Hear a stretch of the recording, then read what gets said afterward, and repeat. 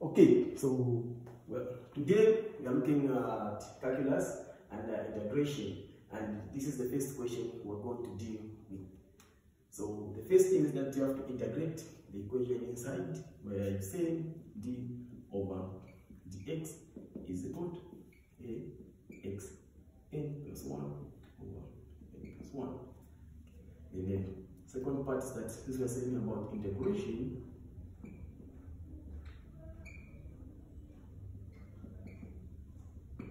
also bring this one so you see 1 plus 1 1 plus 1 then when you, you add there you have 3 down here you have 3 plus 4x here you have 2 then here you have 2 so when you cancel this you end up having something which looks like this. So now when you reach at this stage so what you do is that uh, since you have got the numbers here this is called the upper limit.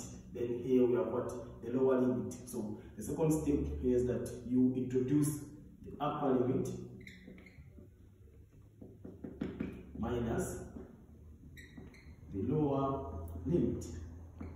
Okay. So those numbers are very important because after integrating, I'm going to open brackets, then I introduce 3 here, the upper, then I have 3, the power this and then I have 2 x the power 2 then minus open bracket and also I have x the power 3 remember to put one there so that you can be remembering what you're supposed to substitute.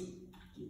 then also what you do is that uh, you substitute 3 where you find x. So here of x 2 then the power 3 then plus of 2 open bracket then 3 2 bracket minus. Then here you substitute with one lower limit. So uh, 3, then 2, here of 1, the power 2, then close brackets.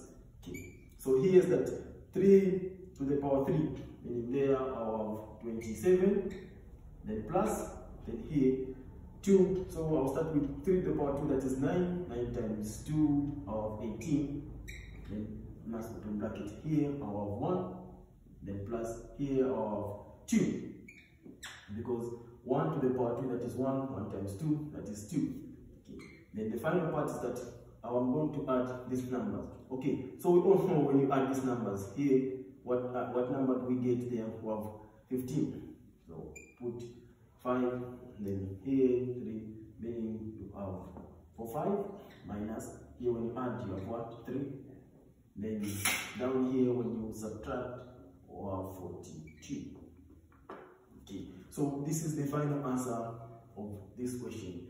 I hope you get this one clear. Then if you have any question, please kindly ask me. I'm able to do it to explain more about the same question.